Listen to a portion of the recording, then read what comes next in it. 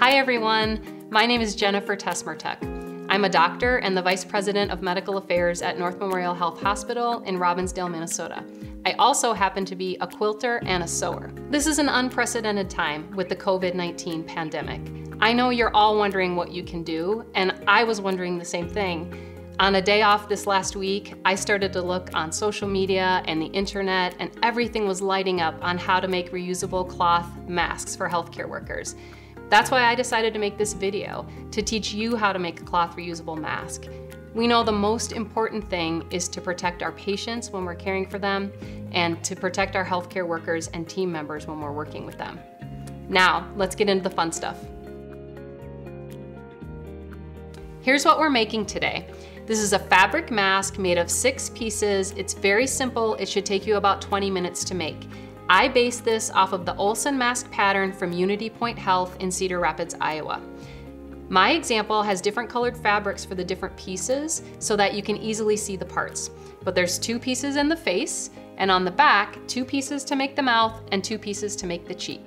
Here's what you'll need to get started. I want to be very clear that we don't want you leaving your home to get these materials. We want you to use what you have at home, and that means you're going to have to use up your fabric stash. So start with densely woven cotton material, a scissors or a rotary cutter, some all-purpose thread, pins, I like a pen to keep me on track for which edges I'm working on, especially your first couple.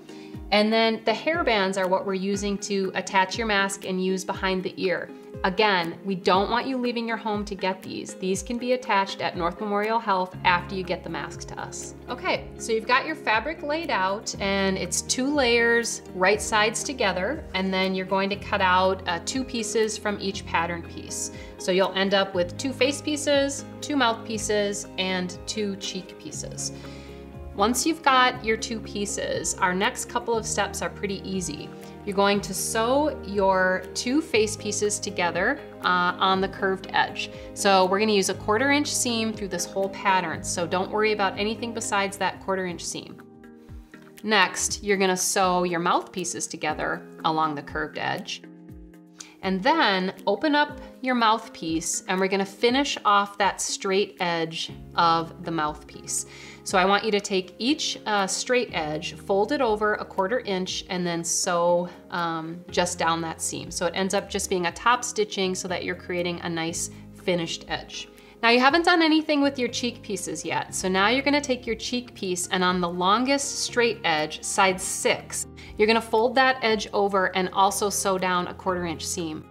Again, you're creating a finished edge for the inside of the mask. All right, for me, this is the toughest part of the mask. Now you have to overlap your mouthpiece and your cheek piece.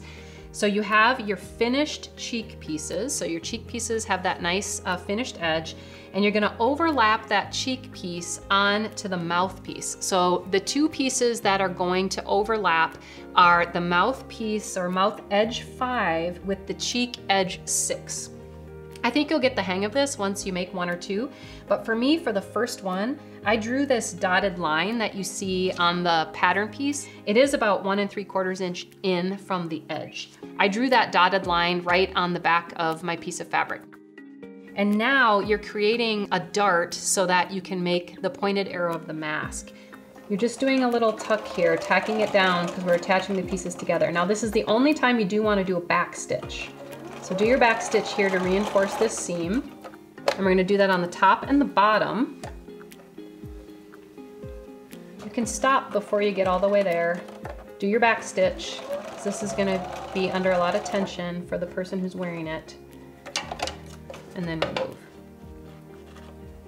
So your end piece ends up looking like this on the back. It's a little more challenging to see. But on the front, what happens is you've got this nice top stitching and I used a contrasting thread here so that you can see that one inch tack down of the two pieces on the top and the bottom. And then this is how you're gonna end up with your pocket on the back of the mask for your filter. So even though it's a little challenging your first one or two times, uh, it's worth it in the long run to make that pocket. Now for the fun part, we get to layer the front of the mask and the back of the mask together. It is important that you orient the top and the bottom correctly because the top has a little bit more space uh, for your nose. So make sure that you refer to your pattern piece and remember uh, that one is the top side of the mask. Same thing with the mouthpiece. One is at the top of the mask. So I'm gonna lay my right sides together. Use your pins to make sure that you have everything lined up. And once you get that pin together and lined up, then you're ready to put the two pieces together. So you can sew a quarter inch seam all the way around. Uh, don't forget that as you sew around your quarter inch seam, you have to stop a quarter inch from the edge, pivot your material, and then sew again. So stop about a quarter inch from the edge. You're not just sewing end to end. Stop about a quarter inch, pivot your material, and then continue to sew around until you have a quarter inch seam all the way around the mask. So here's my uh, mask with the front and the back sewn together, and I'm going to be able to uh, turn it right side out just by going through the filter pocket, here and here. So we'll turn it around. Remember at the beginning I said it was handy to have a pencil or a pen on hand so you could mark your pieces. And it's also handy in this step because if you uh, put the ballpoint back in or have an unsharpened pencil, then you can use that to help turn your corners. If you've got a lot of bulkiness um, on the corners and your corners aren't turning exactly like you want, you can trim the corner edge without cutting the stitching and that'll help you avoid that bulk on the corner. Now this is how your mask is gonna look uh, with that finished edge and you can stop there, especially if you don't have any uh, hair bands at home. We'll finish this mask at North Memorial Health. If you have hair bands at home, then all you need to do for that hairband is put it on the end, roll the edge over, uh, and do a top stitch to sew it down. Just like that. And there you have it. There's the front of your mask and the back of your mask, all sorts of nice finished edges.